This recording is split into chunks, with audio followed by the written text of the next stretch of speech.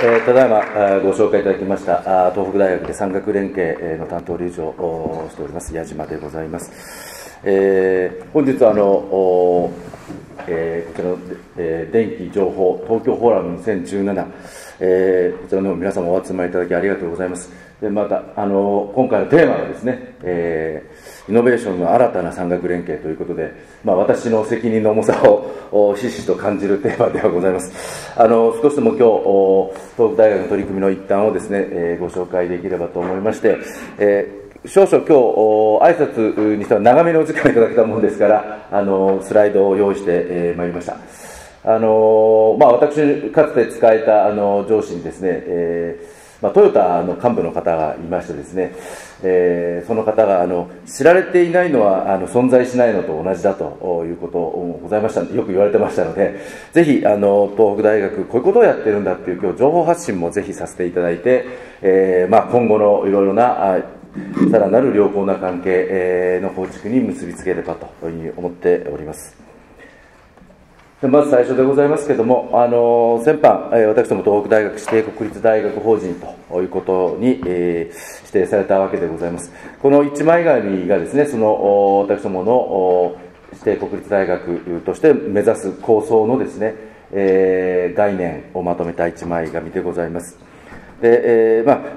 一番ボトムの方から見ていただきますと、おまあ、社会からの要請という大学に対してのいろいろな役割、期待感というのがえー、非常に高まっていると。こうした時代背景にですねで、えー、私もこういう大きく4つの柱を今回立てているわけでございます。左上から人材の育成、えー、そして研究力の強化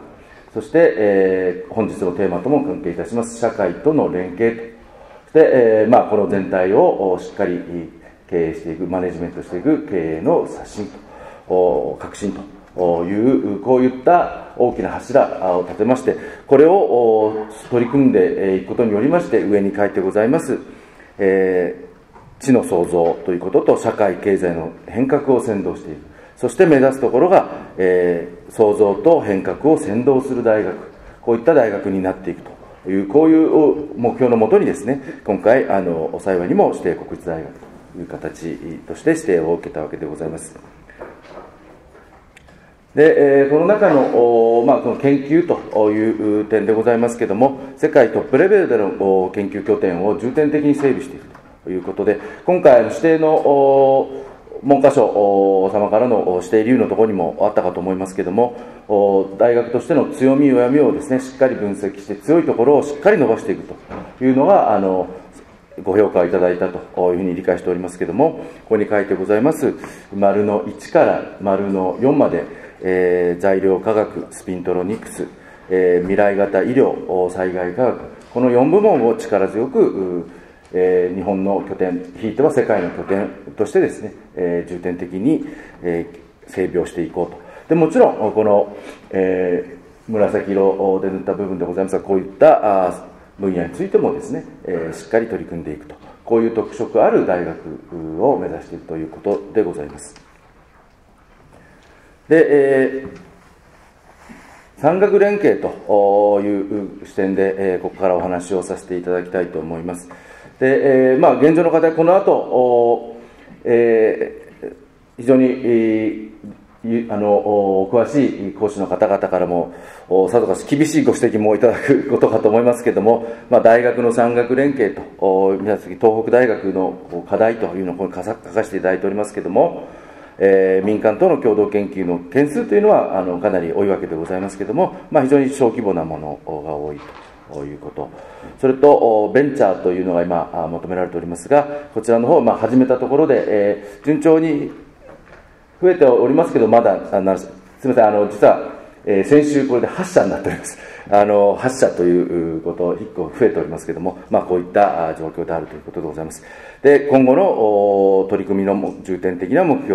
といたしまして、えー、大型の産学連携っていうのをしっかりやっていく、そのための拠点っていうのを整備していくのではないかと。で、この後、ーズの遠藤先生からのご講演もあろうかと思いますが、えー、まさにそのシーズ型のですね拠点というのを複数整備していこうではないかという大きな方針を持っているわけでございます。そしてベンチャーについてもしっかり取り組んでいく。で、え産学連携収入を大きく増やしていこうではないかということでございます。で少し今の大学のお話をもう少し現状ご紹介したいと思いますけれども、まあ、これも改めて、え、申し上げるまでもないかもしれませんけれども、やっぱりあの東北大学、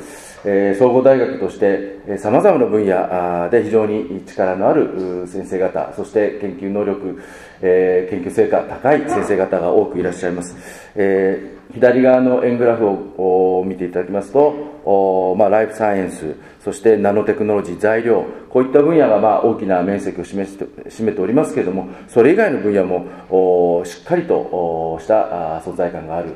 非常に多岐にわたる広範なエリアをカバーできる大学でございます。で右側が、あまあ、その地の地の一つの指標だと思いますけれども、えー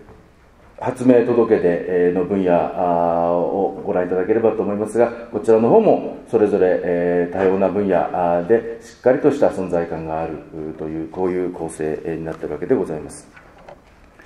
で、ここからあの、これからの強化に向けた少しお話を申し上げたいと思います。で、えー、まあ、あの、少し具体的なお話に入る前に、基本的な考え方を少しご紹介したいと思います。あの私どもあの産学連携、えー、私本部を見ているわけでございますけれども本部というのはですねあのやはりこう実際に研究をしていただくのはもちろん先生方でございますし企業の方が東北大学と一緒にやってみたいなと思う時もその研究者がいらっしゃるないしは研究能力があるというところを評価されて出会いそして共同で取り組むというわけでございますので私どもこちらの通研をはじめとしてですね、え数多くの有力な研究拠点、えがございます。そういった研究拠点、研究をされる先生方をしっかりサポートするというのが私の本部の役割だというふうに考えております。あのややあの余談になりますけど、私あのよくこう呼ばれるとき学内ですので、えー、ついあの矢島先生と呼ばれることがあるんですけども、私はよくその時に申し上げてるんですが、先生と呼ばないでくださいと。私はあの教育も研究もしておりませんと。私がやってるのは、あの、コーディネートだったり、コンサルティングだったり、営業だったり、えー、場合によってはバックオフィス系のいろいろなあの先生方が活躍したい、えー、活躍できるフィールドをしっかり整備するというのは私の仕事なので、私は先生ではございませんと。いうふうにもよく、えー、申しております。で私どもの本部のその3連機構ともそういう、えー、考え方でですね、しっかりサポートをすると、そのための組織をどういうふうに作っていくかというふうに考えております。で、その一例がですね、この今、ここに映っておりますけど、組織対組織の大型の共同研究ということであります。で、えこの模式図にございますが、え、まあ5年から10年先のですね、社会にがどういう社会になっているのかで、その社会を実現するためないしはいろいろな課題を解決するためにどのような研究が必要なのかというのをバックキャストするような形でですねここの研究テーマを決めていこうというものでございます。従いまして、まず一番最初に行うのが、ビジョンを共有するという作業を行うことになります。で、当然ですが、このビジョン共有のところには、あの本学、先ほどご紹介したように、さまざまな分野で活躍しておられる先生がおります。文系の方も含めまして、分離融合という形で、え、多様な方々に大学側は入っていただきます。で企業もぜひこれはあの経営トップ層の方に入っていただくと。いうことで研究部門の担当の方だけではなくてですね将来のその会社の経営方針に関わる方に入っていただくということで、えー、まずその将来像を一緒に検討すると。で、企業様からいくつか関心のあるキーワードを設定していただきまして、それに合わせてどういうふうなことが将来必要になってくるのかというのを検討するわけでございます。あのいくつかこの方式で今、議論させていただいている会社様がおりますけれども、ある例で申し上げますと、最初の半年間ぐらいずっとその議論をしておりました。で、えー、その都度都度メンバーが入れ替わります。大学側のメンバーも入れ替わりますし、企業様側のメンバーも入れ替わる。そういった中でだんだんだんだんこう議論が修練していくと。で、えー、共通の将来像将来の目標が設定されたところで、ではこれを実現するためにどのような研究開発が必要かということで、ここの研究開発課題を定めていくというものでございます。そして、え実施する上では、あの定期的な PDC を回すような仕組みを入れるとということで、え随時内容は見直していくというような、こういった取り組みでございます。で、その一例がここにちょっと細かいので、えー、まあもうポイントだけご理解いただければと思いますが、えー、一番上の方に4つポイントが書いてございますが、あ社会実装からあ人材育成まで、え、含むようなあ包括的なあ取り組みをすると。それと、新規事業の企画というのも場合によってはさせていただく。で、企業ニーズに対して学内横断的文系の方も含めた文系の先生方も含めたあ、え、探索を行うそして、え、定期的な交流会報告会ニーズシーズンのマッチングなどをすることによってえー、ここのテーマ設定を設定見直していくということで、えー、PDCA を回すということでございます。で、この一番左側のピンクないしオレンジのところに書いてございますが、ここで企画会議と書いてございますが、こういうステアリングコミッティ的なものを設けましてですね、えー、先ほどご紹介いたしましたビジョンを一緒にまず検討していく。で、その後、ここの研究、右のフェーズに移っていくわけでございます。で、細かな点ですが、下に3つのポイントを書いてございますが、あのこれはある会社さんと一緒にやらせていただいている例をここに書いているんですけどもそのケースで申し上げますと企業様のその年次の計画づくりのところにも一定程度私どもがご助言を差し上げるというような仕組みになっております。そして担当の URA が1人つきましてですねしっかりその進捗状況ないしは個々の日々のいろいろな課題に企業様からの声、ないしは研究現場の声に対応するというような仕組みでございます。で、えー、もう一つ、こちらの方でご紹介したいと思います。私ども、えー、1990年代からですね、非常にこう多くの産学連携拠点というのを整備をしてまいりました。こういったそれぞれのところでですね、それぞれ非常に素晴らしい取り組みが進んでおります。ただ、今私ども今後のことを考えたときにですね、この力のあるそれぞれの拠点をですね、もう少し有機的に結びつけていけないかというふうに考えております。先ほどご紹介しましたように、え分離融合ですとか分野融合ということを考えますと、それぞれの分野分野では非常に高い成果を上げておりますけれども、今後のさまざまな企業、ないしは社会のニーズに対応していくためにはですね、えー、個々の取り組みを超えてそれぞれが協力し合うようなあ仕組み作りっていうのが必要と考えております。でまさに私もその本部がですねそのネットワークを作るこうコネクションハブ的なですね役割を担っていくことを今後目指していきたいというふうに思っております。で、えー、今申し上げたことはここに図してございますけれども、右側にございます企業様からのさまざまなニーズ、これはもちろんあの個々にそれぞれのこれまで通り、えー、研究所ないしは先生方のところに直接もちろんニーズが持ち込まれるケースもあるわけでございますけれども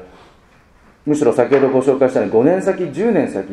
どうしようかと何をやればいいだろうかということを考えるときに非常にこう多分野に及ぶような仕組み作り先生方をご参加いただいて、えー、未来像を一緒に議論するというようなことがございますので私どもがそこの仲介役となるというようなコーディネート役を果たすということでございます。で生まれたプロジェクトに応じてそれぞれのところで分担をしていくというようなこういったことを企業様から見ますと、まあ、ワンストップ。ないしは学内的にもですね、えー多分あの自分のところだけではあの閉じないテーマだという時にですね、えー、内部においても私もワンストップとしてそういったあコーディネートができるようなあ役割を果たしていきたいと思っております。で、えー、これがあのおまあ、その中の一つの例でございますけれども、まあ、こういった方向で今議論していこうとしているものでございますがちょっとこの絵もあの私があの気候庁なんで上にあるように見えるんですけどこれは先ほど来申し上げているように本来私どもはあのそれぞれのこういった研究拠点のですねを下支えするえ、その仲介役ないしはあのサポートをする役目でございますので本来私の名前は一番下に書いてなきゃいけないんですけどもここで申し上げたいのは、それぞれのところにですね、産学連携を担当しているリエゾンというものをですね、しっかり指名をいただいて、リエゾン同士で、えのネットワークを作りまして、えさまざまな外部から持ち込まれる課題、ないしは内部的な課題を迅速にですね、相談、調整、協力体制を作るという仕組みを作っていきたいと多いと思っております。え個々のところに、え存在するリエゾンは、その中のことは当然非常に詳しいわけですので、えそういった人間同士がつながり合うことによって、これからのその横断的な、え取り組みと、さまざまな課題に対応できる、迅速に対応できる仕組み作りということを考えています。で下の方に、え、テクノアーチというのとベンチャーパートナーズというのが2つございます。えー、右側のベンチャーパートナーズは東北大学が出資しておりますベンチャーキャピタルでございます。ここから大学発ベンチャーへの出資を行うという仕組みでございます。で左側がいわゆる TLO 組織でございます。で、えー、こういったところともですね、積極的に業務を分担する、役割の分担を少し今までよりも変えましてですね、えー、むしろ大学側はあのマネジメントガバナンスは効かせますけれども、え、こういった外部の組織をしっかり活用することによってさまざ、まな弊害を解決する。ないしは一番重要な人員の確保というところで非常にフレキシブルな人員の確保ができるというような仕組みを合わせて強化をしていきたいと考えております。でここから少し話題変わりますけれども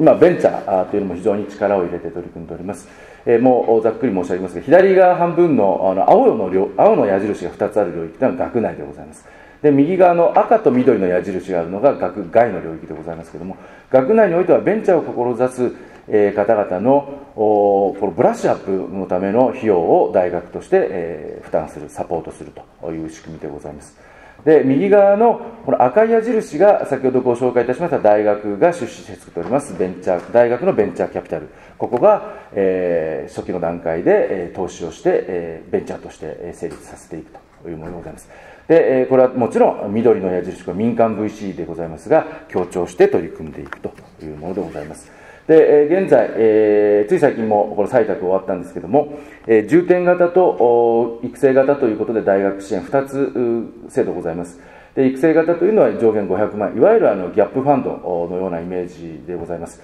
えー、やはり数を打たないと当たらないというところがあると思いますので、これはあの年間10件以上はしっかり採択していきたいというふうに思っております。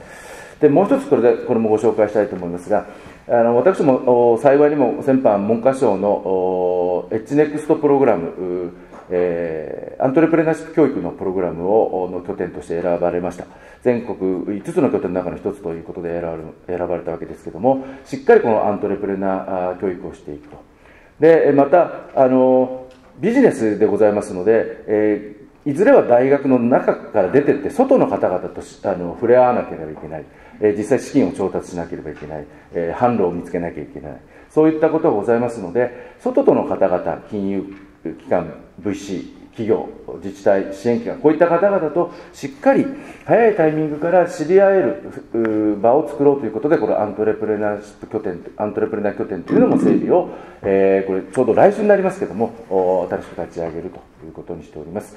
で、こちらの方、実は運営はですね、もうあのいわゆるベンチャーキャピタリスト、最近、えー、ちょっとよく聞きますけどもあの、シードアクセラレーターという方にですね、この運用を任せようということでございます。ここに来れば、関係者がいろんな相談ができると、一堂に会せるかというふうに考えております。で、最後でございます。えー、少しキャンパスの宣伝をさせていただければと思いますが、えー、青葉山新キャンパス、今年ついにオープンをいたしましてですね、えー、先般お披露目もしましたけれども、こういった非常に広大な敷地を持ったキャンパスが今回、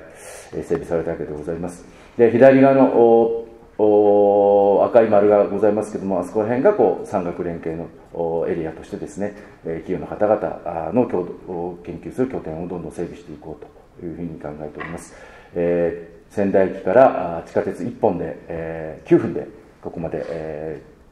ー、参ります。で、あの、見てご覧のいただけるかと思うんですけども、あの、元ゴルフ場でございますので、非常に綺麗なキャンパス。えー、正直申し上げまして、あの、日本離れしているなと私はあの日本仕事柄いろんな大学行きますけども日本で一番きれいなキャンパスではないかなというふうに思っております。ぜひここをですね、えー、社会課題を解決する産学連携をしっかりやっていくそういった拠点にしていきたいと思っておりますのでどうぞ今日の皆様ご活用いただければと思います。でなおご参考まで申し上げますとあのサイエンスパークの右下にこう長方形で緑のグラウンドのように空いている部分がございますが、現在あそこのエリアにですね、えー、放射光施設を作りたいというようなご要望をいただいておりまして、そこが今候補地になっているわけでございます。で、えー、今あの駅の近くをちょっと拡大したものでございますがここに、えー、右側に4つ書いてございますけれども私も産学連携機構のほかにですね、えー、TLO 組織先ほどからご紹介しているベンチャーキャピタルそして、えー、ニッチェ。こういった産学連携機関がアンダーワンルーフというもとでですねここに集約をいたします。えですので、え外から来られた方ないしは学内の方々もここでもうワンストップ的にですねいろいろなあ相談調整、えー、契約等々ができるということです、え駅から歩いて1分のところに関係機関が全て揃うというようなことで使い勝手のいい、え産学連携組織を目指していきたいというふうに思っておりますあの非常にちょっと雑白な話になりましたけれども先ほども申し上げました私ども、やっぱりこの社会の課題をに解決するという取り組みをしっかり強化をしていく。でそのために中からも外からも使いやすい使っていただきないしは先生方のいろんなご要望に応えられるそういったサポートする組織としてですね、え取り組んでいくということでございます。東北大学の生死でございます実学村長というところを改めてですね、え現代風に、え意義を問い直してしっかりと前に進めてまいりたいと思いますのでどうぞ今後ともよろしくお願い申し上げます。どうも本日はありがとうございました。